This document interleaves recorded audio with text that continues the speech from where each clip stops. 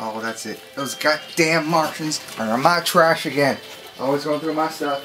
Stuff that I earned. It's my stuff. Well, part of my stuff.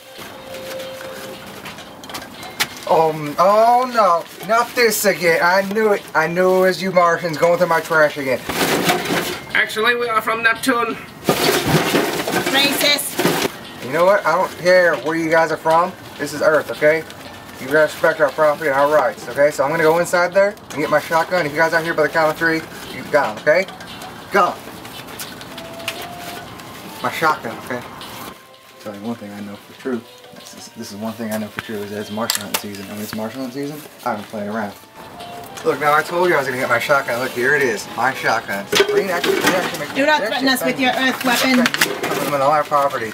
I'm I'm an, I'm not an alien hater, okay? I love all races, except for greens. Quick, check his pockets. This is enough for a round at patio duels. Good, let's go get shots.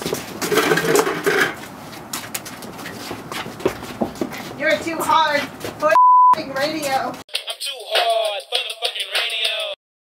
We are looking for pot Russian and a round for pot. Can't say the round.